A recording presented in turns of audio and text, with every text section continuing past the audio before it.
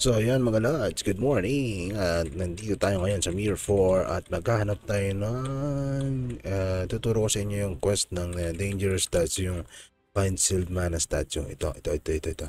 So since uh, sinasabi dito you can find the sealed statue at the Foryox sa Necropolis second floor. So ito lang kasimple yun mga lods uh, pupunta tayo dito sa may bandang ito, ito, ito, ito, ito. Sa bandang to. Ayan So, run mga lods. Yan, shoutout nga pala sa Perseverance Clan. And araw-araw kong sinashoutout yan. So, mga gusto magpa-shoutout, please comment down below para may shoutout ko ang inyong clan. Thank you. Yan.